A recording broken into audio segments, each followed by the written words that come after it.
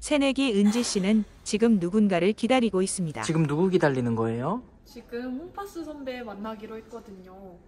그런데 왜 안 오지? 오늘 소비 꿀팁 알려주신다고 해서 기다리고 있어요. 아, 아니, 대학생 되니까 이것저것 돈이 나갈 곳이 많더라고요. 알바도 하고 용돈도 받고 있는데 이번 주는 계산해 보면 삼각김밥만 먹어야 될 것 같아요. 한번 보실래요? 네. 돈이 없다는 은지 씨 아무래도 홈파스 선배에게 소비 꿀팁을 제대로 들어야 할 것만 같습니다. 은지 씨의 홈파스 선배 A형 오늘 도와주신다고 해서 진짜 감사드려요, 선배님.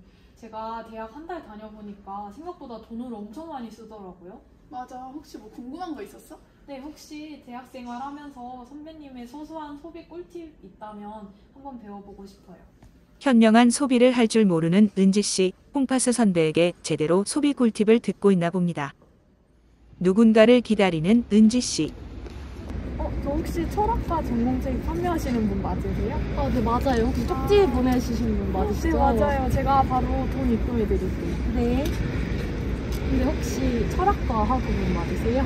네, 맞아요. 혹시 선배님이신가요? 어, 네, 맞아요. 아, 어, 감사합니다. 공부 열심히 잘 쓸게요. 네, 공부. 열심히 하세요. 제가 홈파스 선배 조언 듣기 전까지는 정가로 구매했었거든요. 이 책 얼마나 본다고 아까운 거 있죠? 근데 오늘은 27,000원이 아꼈어요. 야호! 합리적인 소비를 한 은지 씨 신나 보이는 뒷걸음이 영락 없는 새내기 같습니다. 바쁜 하루를 보낸 후 집으로 귀가하는 은지 씨.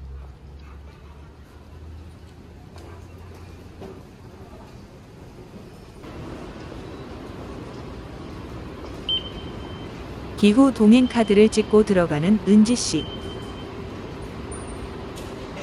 피디님도 아직 청년이시죠? 제가 어제 홈파스 선배한테 들었는데 교통비 아끼는 꿀팁으로 기후 동행 카드가 있대요.